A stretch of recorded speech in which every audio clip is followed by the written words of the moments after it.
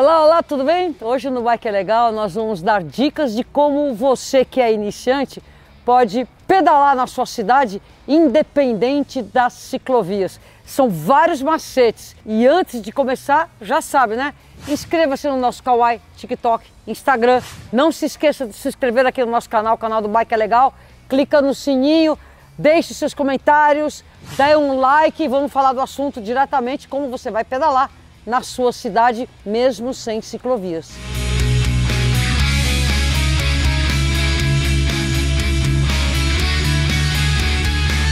Antes de tudo, parabéns para você que vai pedalar, vai começar a pedalar na sua cidade. Muito legal. E a dica número um: não tenha medo.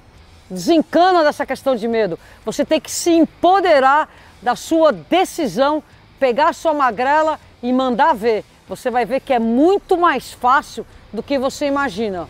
Portanto, parabéns, vamos pedalar e show medo. Pega a bicicleta que é a sua, que esteja encaixando em você, altura de selim legal, tudo mais, nos trinks. Você já sabe, né? Aqui no Bike é Legal a gente tem várias dicas de como você arrumar a bicicleta para você. Uma vez nas ruas, uma dica muito importante é escolha as ruas calmas. Ruas de dentro de bairro, ruas que passam poucos carros, ou mesmo ruas, quando passam carros, elas sejam mais calmas. O Código de Trânsito Brasileiro, em teoria, manda que você não ultrapasse 30 km por hora nessas ruas. Portanto, é uma velocidade mais tranquila para você começar a dividir espaço com os motorizados.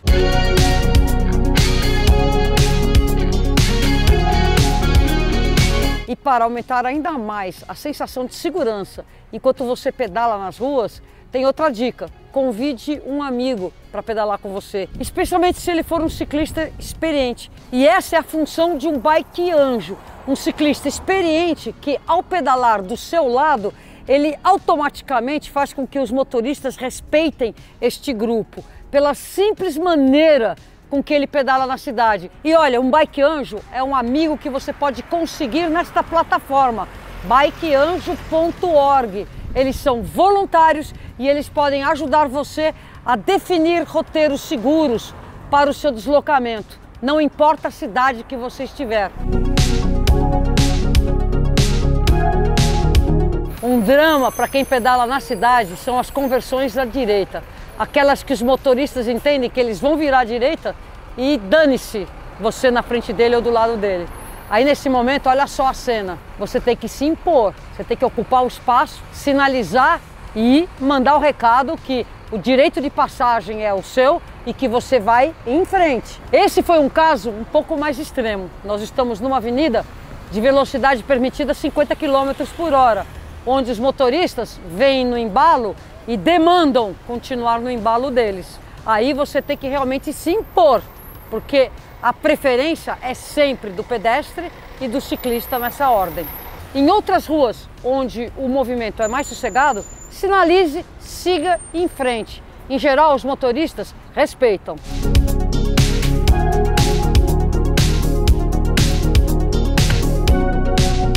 Faça exatamente como esse ciclista está fazendo ocupando a pista inteira.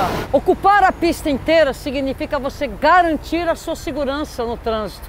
Se você fica próximo à sarjeta, os motoristas te espremem sem dó. Portanto, dica valiosíssima: vai pedalar nas ruas, fora de ciclovia, ocupe a pista.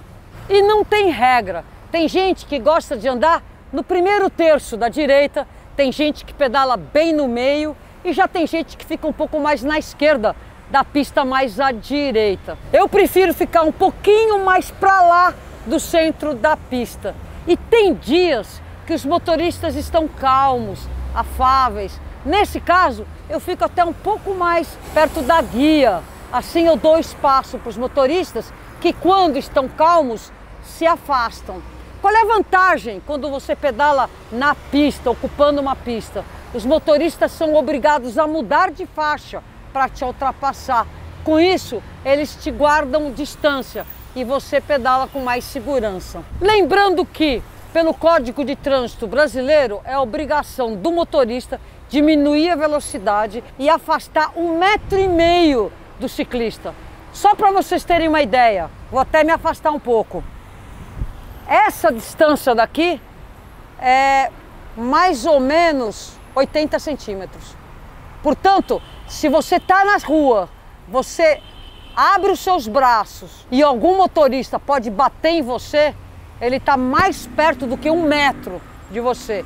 Essa dica fica para você, motorista.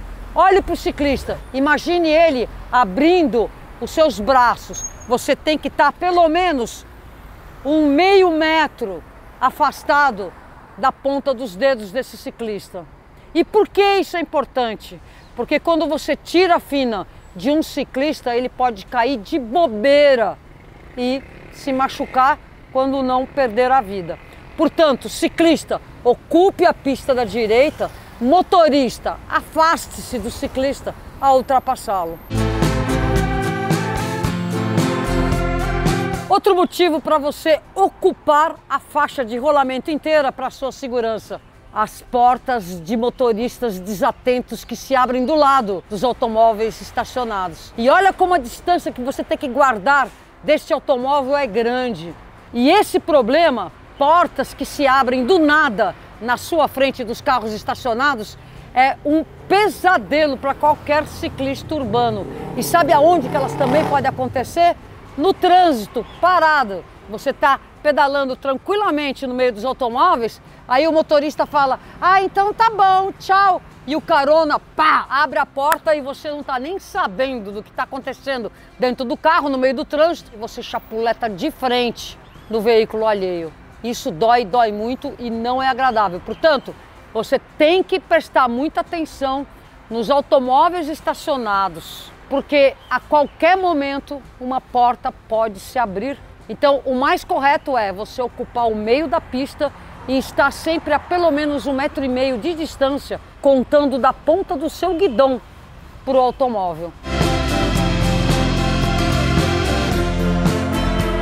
Ajuda muito quando o ciclista tem uma trajetória de pedal previsível, que ele não mude de faixa de repente sem nenhum aviso. Portanto, faz parte de ser um bom ciclista seguro, na cidade aquele que sinaliza bem as suas intenções. Vou para a direita, vou para a esquerda, vou parar, vou seguir em frente. Por favor, se afaste. E se você estiver em grupo, outra sinalização muito importante: atenção, buraco, vou parar. E todas as outras, esquerda, direita, pode passar e por aí vai.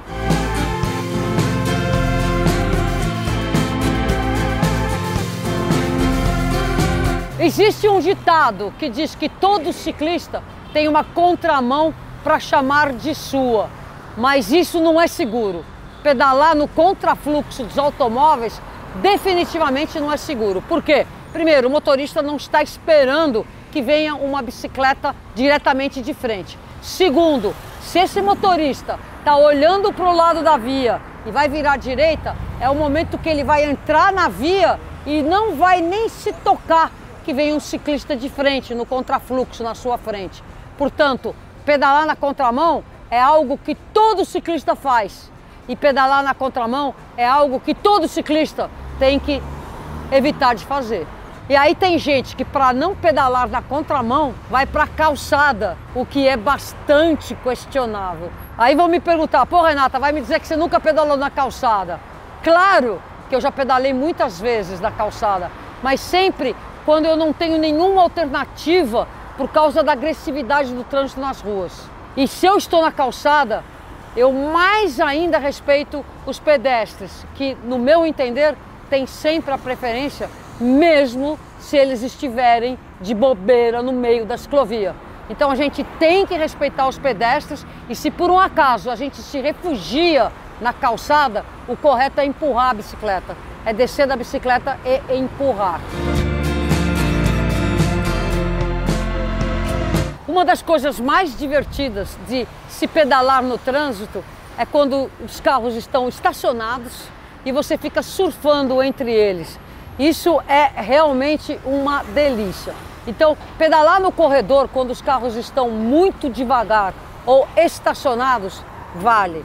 Pedalar no corredor quando os carros estão numa velocidade superior a 8, 10 km por hora, eu já não recomendo. Neste caso, ocupe uma pista e siga ocupando um espaço de um veículo qualquer, motorizado. Aí você está em segurança e está guardando um respeito e segurança para os demais. Dica para você andar no corredor. Muito cuidado com os espelhos retrovisores. Muitas vezes você vai ter que justamente fazer aquele balé para que a ponta do seu guidão não bata no, no espelho do carro alheio. E motorista não gosta nem que você olhe para o carro dele, quanto mais se você encosta no carro dele. Então tem que respeitar a tua capacidade de pilotagem em relação a você estar no corredor desviando dos espelhos. Outra dica, quando você estiver andando no corredor, você tem que ter uma relação de muita compartilhamento com os motociclistas.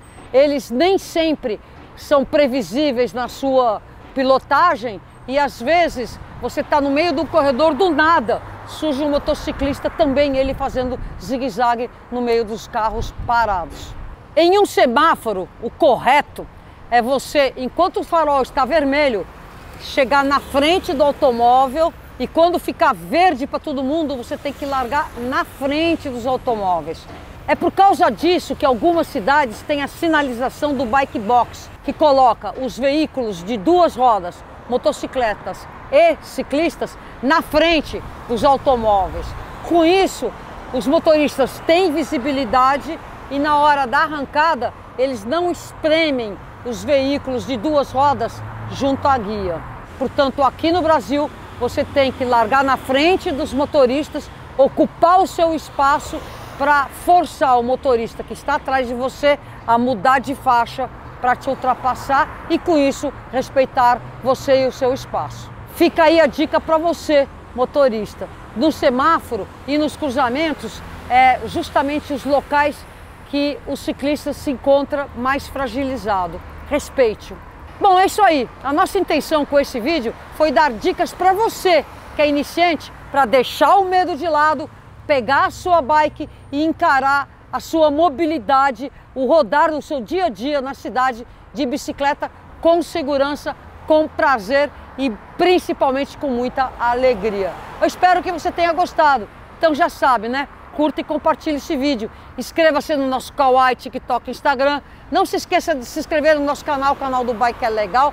Clica no sininho. Gostou da camiseta? Tá aqui, vai lá no mind.com.br barra bike é legal e adquira a sua. E para todo mundo que está aqui nessa lista, tá vendo? Esses são os membros, os fãs do nosso canal. A todos vocês, o nosso muito obrigada.